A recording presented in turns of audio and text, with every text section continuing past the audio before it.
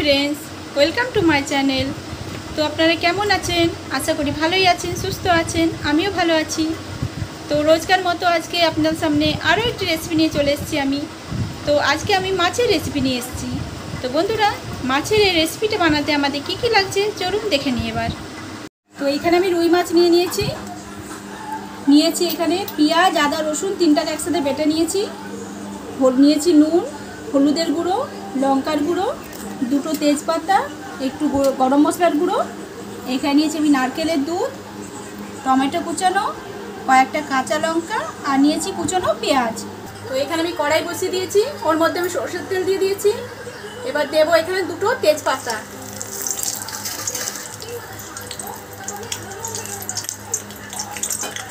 তেজপাতা দেওয়ার পর আমি এখানে দিয়ে দেবো কুচনো পেঁয়াজ।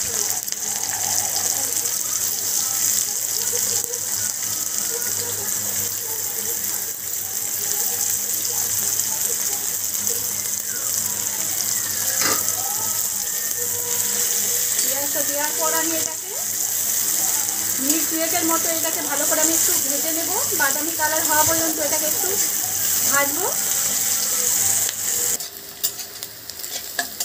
তো পেঁয়াজটাকে আমি হালকা করে, হালকা বাদামি হওয়া পর্যন্ত ভাজলাম।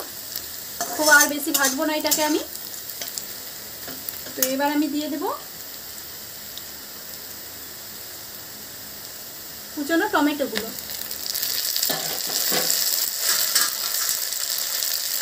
দিয়ে দেবো আমি একটু স্বাদ মতো নুন।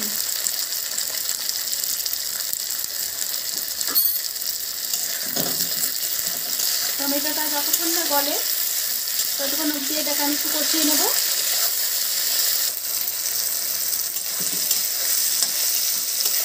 তো আমি কিছুক্ষণ নেড়ে এবার এর মধ্যে আমি দিয়ে দেবো পেঁয়াজ, আদা রসুনের পেস্টটা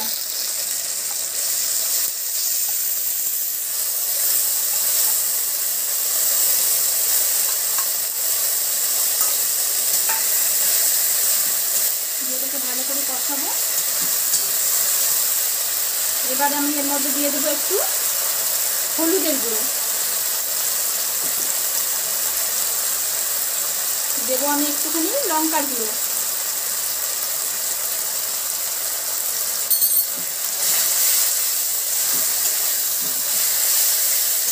ভালো করে এটাকে আমি কষাবো, যতক্ষণ না পেঁয়াজ আদা রসুনের কাঁচা গন্ধটা থাকে তো মাঝারি আছে, এটাকে আমি ভালো করে কষাবো, যতক্ষণ না মশলাতে একটু তেল ছেড়ে আসবে, ততক্ষণ অবধি আমি এটাকে ভালো করে কষিয়ে নেব। মশলাটাকে দেখুন, আমি বেশ ভালো করে কষিয়ে নিয়েছি। আর টমেটোটাও গলে গেছে, আর পেঁয়াজ আদা রসুনের গন্ধটাও চলে গেছে এর থেকে তো একটু মেরে চেড়ে এবার এর মধ্যে আমি দিয়ে দেবো নারকেলের দুধটা। একটু করে নারকেলের দুধটা দিয়ে দেবো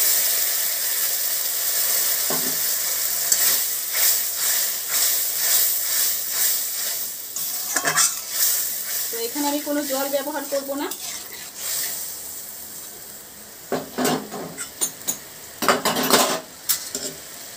তো এর মধ্যে আমি দিয়ে দেব যে কাঁচা মাছগুলো। আঁচটাকে আমি এক- একেবারে কমিয়ে দিয়েছি। সব মাছগুলো আমি একে একে করে দিয়ে দেবো।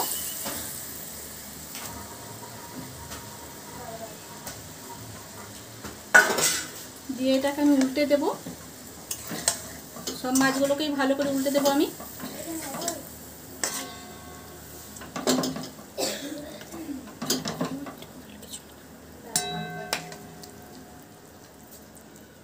এটাকে আমি একদম কম আছে। আমি একদম কম আছে, এটাকে ঢাকা দিয়ে হতে দেবো। আঁচটা একটুও বাড়াবো না, একদম কম আছে, এটা হবে। তো কিছুক্ষণ পর আমি ঢাকনাটা খুলে নেব। তো এবার আমি আঁচটাকে একটু বাড়িয়ে দিয়েছি। কম আছে এতক্ষণ হচ্ছিল, আর মাছটাও সিদ্ধ হয়ে গেছে। এটাকে বেশি আমি খুন্তি দিয়ে নাড়াচাড়া করব না। এভাবে একটু নেড়ে নেব। এবার আমি উপর থেকে দিয়ে দেবো একটু গরম মশলার গুঁড়ো।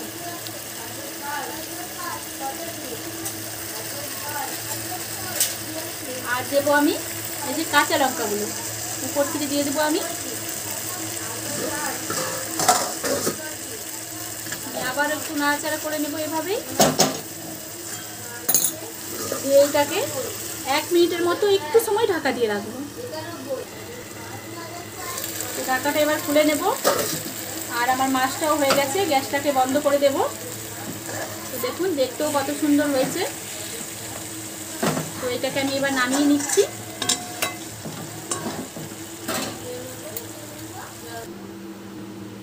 তো দেখুন, কত সুন্দর দেখতে হয়েছে। এবার এটাকে নামিয়ে নিচ্ছি আমি।